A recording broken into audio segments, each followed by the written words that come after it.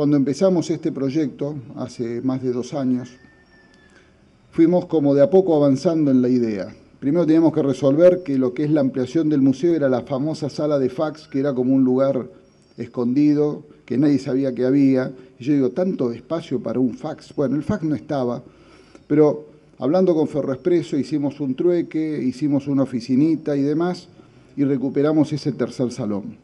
Lo fuimos mejorando, lo fuimos interviniendo, tuvimos que cambiar el techo porque se llovía, cambiar las canaletas y al final dijimos, si en el ya que estamos, pintamos la estación, esperando que vuelva el tren y que esté luzca esta estación como está, y le cambiamos la iluminación, y al final arreglamos los baños, que también estaban muy deteriorados, y preparamos todo este escenario, no solo para recordar nuestro pasado ferroviario, sino para esperar la venida del tren, que va a llegar sin ninguna duda. Y en referencia al museo, Cuando uno reabre un museo o abre un museo nuevo, esta es una reapertura, es como volver a, volver a, nuestra historia, a nuestro pasado, a nuestras propias historias. Cuando recién estaba sentado en ese vagón Pullman o en primera, ¿quién de nosotros no viajó en un coche de estos? Confortable, con ese movimiento pendulante del vagón que uno lo terminaba adormeciendo mirando el paisaje. Es volver a esa historia de cada uno, esos sueños que tuvimos y que tenemos todavía.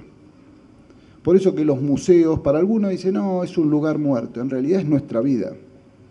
Cuando pasemos por ahí, muchas de las cosas nos van a traer algún recuerdo ni que hablar a la familia de los ferroviarios, que lo han vivido eso todos los días, cuando eran chicos, algunos nietos, sobrinos, hijos, y el orgullo del ferroviario.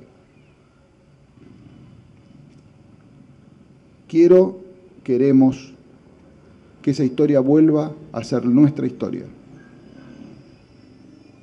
El museo va a mantener viva esa historia pero tenemos que construir nosotros la historia de aquí hacia el futuro. Seguir luchando por tener trenes